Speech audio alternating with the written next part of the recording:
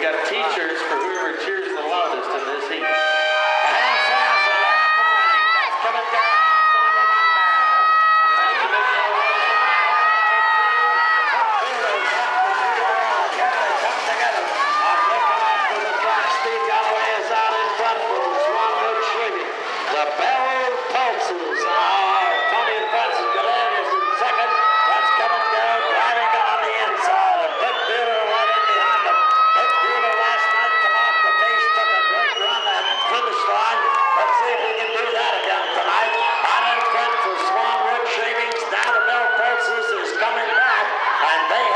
Grand Prix.